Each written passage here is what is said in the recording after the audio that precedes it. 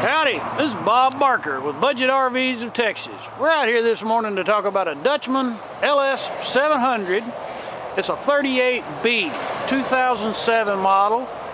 This is one fine travel trailer.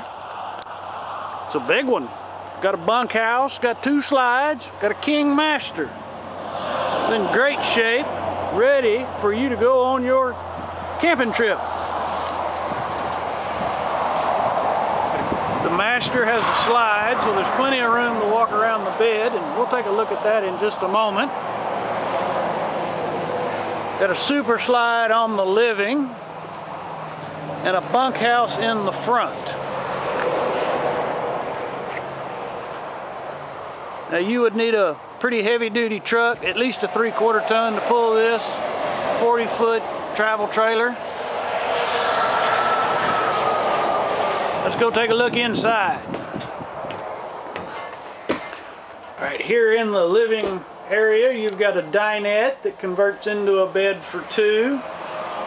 You've got a sofa that allows for two people to sleep on it as well. You've got a full-size refrigerator by GE, so you got room for a couple weeks worth of food. We do have storage tanks for black water, gray water, and fresh water, and a microwave, three burner stove, and an oven. Can't you just smell those chocolate chip cookies baking now? Two bowl sink and a breakfast bar. There's your entertainment center for watching TV and kicking back, relaxing. Here in the master, got a great big closet for all of your clothes. The bed also has storage under it. Lots of room to put your stuff in. Got a big stand-up shower. Nice big corner glass enclosed shower.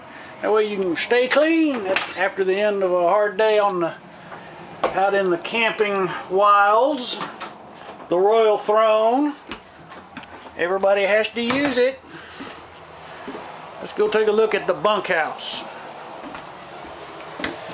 Now one thing I really like about this bunkhouse is the bunks are actually larger than you typically find in a bunkhouse. Sleep quite a few people in this travel trailer.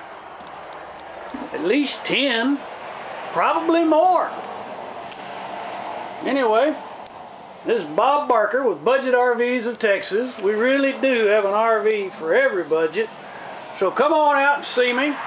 Ask for Bob Barker and let me put a budget RV in your rearview mirror.